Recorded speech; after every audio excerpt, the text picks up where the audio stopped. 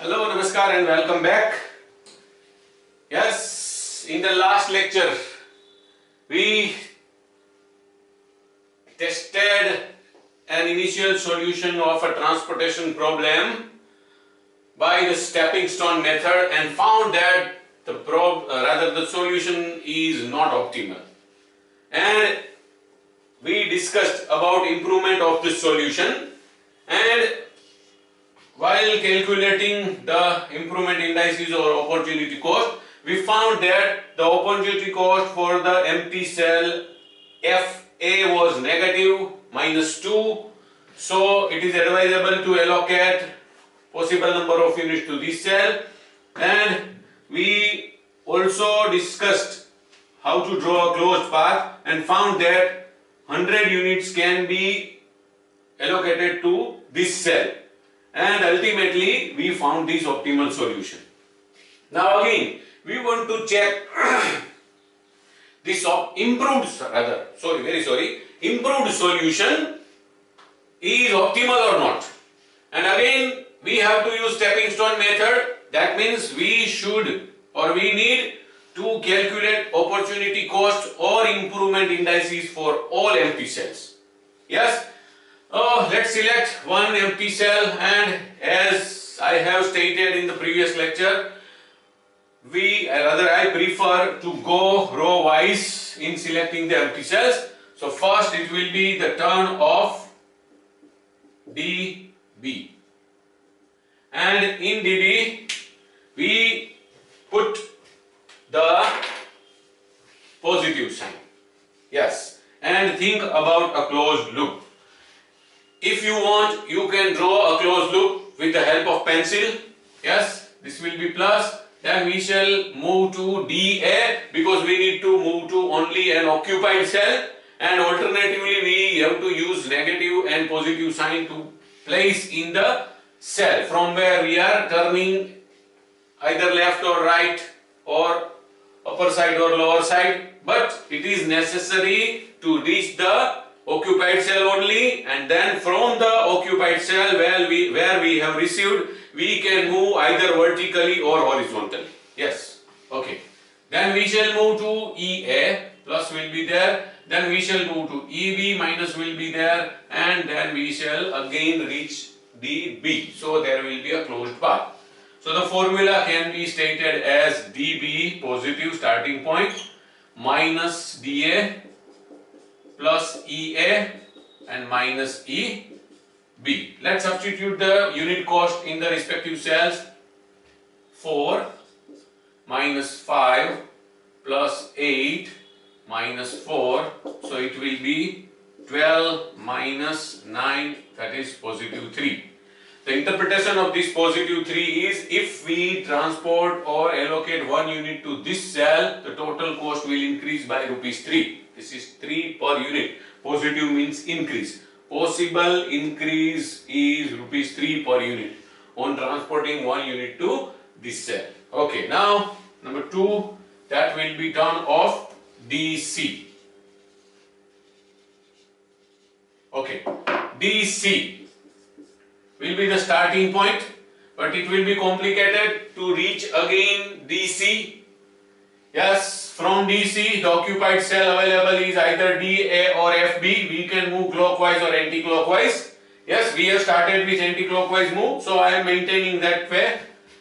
From DC we are going to DA, negative sign. From DA only we have now two choices. So last time it was complicated but this time it is not only a big square is there. We are going to FA plus sign. Then we are going to FC negative sign and then we can again reach to DC and closed path will be there. Okay, so formula is DC positive minus DA plus FA minus FC. The costs are 3 minus 5 plus 9 minus 5. 3 plus 9 12 minus 5 plus 5 10 positive 2. So if we allocate one unit to this cell the cost will increase by rupees 2. This 2 is per unit amount. Then Now it is turn of row E and row in row E only one empty cell is there. It is EC. So third trial will be for EC. EC in EC there must be positive sign from EC we can move to EB but above or below EB there is no occupied cell. So we cannot stop in the cell EB so we have to move to EA because to take a turn above or below left side or right hand side we should have another occupied cell. That's why we are not going to this cell. Sorry here it will be negative sign, not positive sign. Yes, starting point positive, first turn negative, second turn will be EA positive. From EA we have to move to EC, that will be negative sign and then we can again move to the original cell EC from where we had started. So EC will be positive minus EA plus FA and minus FC. Let's substitute the cost. EC positive 3, EA negative 8, EFA positive 9, FC negative 5. Positive is 3 plus 9, 12. And negative is 8 plus 5, 13. So it is negative 1. Negative 1 is there. That means if we transport or allocate one unit to this cell, there will be decrease of rupee 1 per unit decrease of rupee 1. So it is advisable to allocate here. But still there is one empty cell. We have to check that cell first. If we find greater negative amount there in that cell, we should prefer that cell only for the purpose of improvement of the solution. So where there or more negative opportunity cost, out of them we shall select only one that is higher amount with negative sign. So most negative. Yes. Because if there in one cell the amount can decrease by rupee 1 and in other cell the amount can decrease by rupees 3. So we should go for the cell with the possible decrease of amount of rupees 3 and not 1. So when there are two or more opportunity costs with negative sign, we shall go for most negative. Yes? Okay. Most negative means higher amount with negative sign. Let's check for FC.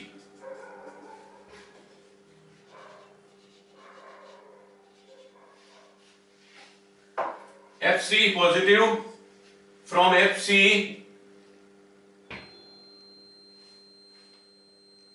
Sorry, not FC, it is FB. I'm very sorry. FB positive. Again, we are going anti-clockwise. We can move to EB negative. We can move to EA positive. We can move to FA negative, and then we can again reach back to the cell FB from where we had started. FB positive minus EB plus EA minus Fa. Yes, 7 minus 4 plus 8 minus 9. So it will be 15 positive and 13 negative. It comes to positive 2. So if we allocate one unit to this cell, the total cost will increase by rupees 2. Since the total cost is going to increase, we are not interested in allocating to this cell. So ultimately we found that this solution is also not an optimal solution. There is a scope of improvement in case of this solution. Yes. So what can be the improvement? The improvement can be by allocating or transporting possible number of units to the cell EC.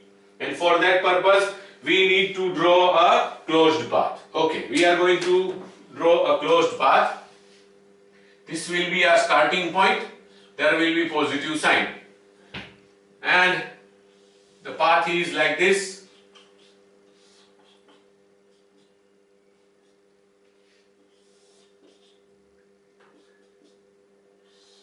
yes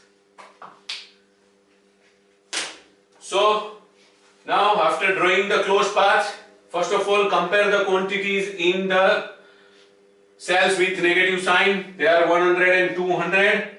That means lowest of this is 100. So we are going to select 100 units. Now what to do with these selected 100 units? Add them to the cells with positive sign. Here it will be 100 plus 100, 200 and in this cell it will be 0 plus 100, 100.